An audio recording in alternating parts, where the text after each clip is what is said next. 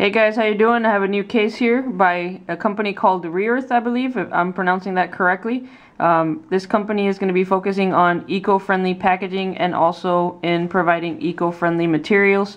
Um, also in, in keeping the cost down. So if you look at their website, they'll, they'll give you a little bit more information on that and I'll definitely put the link on the description.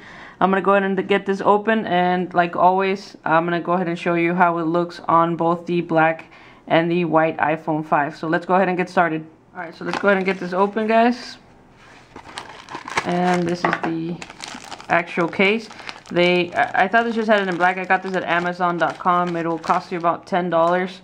Um, they are they do come in a lot of different colors uh, yellow greens reds pinks so go ahead and and look at the the website on that they pride also in their in their customer service that's one of the things they mention on their website so that is just a little thank you note.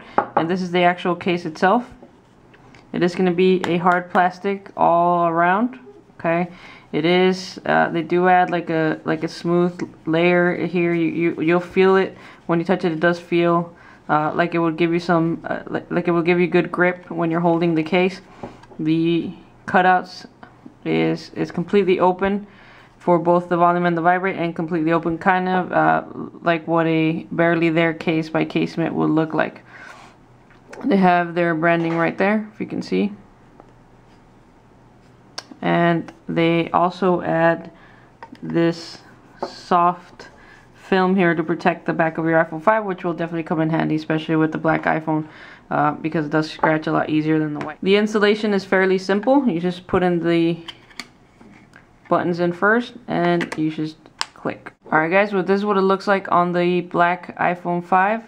Again, uh, if you're going to get this case, I definitely recommend a screen protector there's going to be absolutely no obstruction on the bottom or on the top as you can see or the button so that will not be an issue no matter what kind of uh, connector or adapters or anything like that you may have doesn't look like it'll interfere with anything uh, if you're worried about uh, having protection the, when the phone is being set down it looks like it's it's it is there but it's minimum if you can see that it's raised a little bit um, but not much. So like I said, I definitely recommend the screen protector.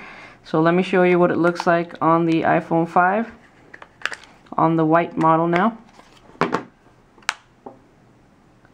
There it is. Looks nice, especially with the white brand. Alright guys, so there you have it. That's going to be um, on both the black and the white iPhone 5.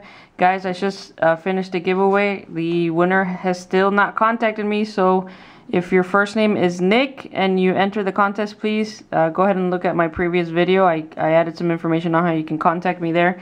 Um, I'm going to be doing another giveaway soon. I'm going to be doing another giveaway soon. Sorry about that. Um, so keep an eye out for that as well. And thanks again for watching. Don't forget to like the video and subscribe.